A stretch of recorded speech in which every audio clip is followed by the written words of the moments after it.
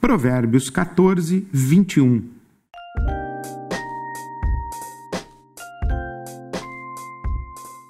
É pecado desprezar o próximo, feliz o que ajuda os pobres. Diz o ditado que devemos não apenas dar o peixe, mas também ensinar a pescar. Isso significa que a real ajuda ao pobre implica colaborar para que ele não precise mais de ajuda. Uma ajuda que perpetua a relação de dependência não é ajuda.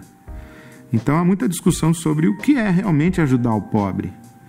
E eu acredito que a ajuda aos pobres ela pode acontecer em três níveis. Primeiro, nós devemos sim dar o peixe Mahatma Gandhi disse que com o homem com fome não podemos falar outra língua que não seja pão.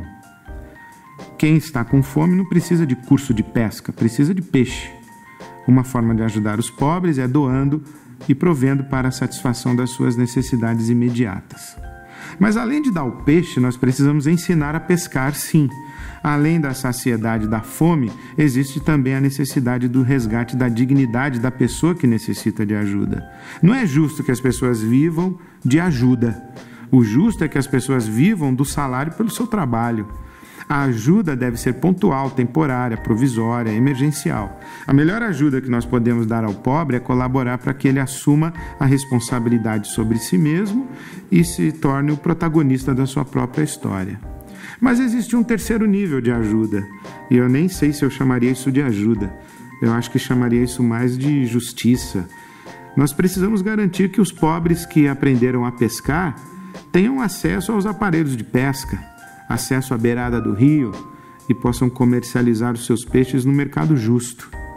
Isso significa atuar nas estruturas da sociedade e romper com os sistemas de exploração, injustiça e principalmente de escravidão, os sistemas de opressão dos pobres.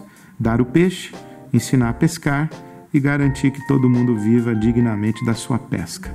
É assim que a gente se relaciona com os pobres, para que eles deixem de ser pobres. Esse é mais um provérbio sobreviver, porque viver é mais que sobreviver.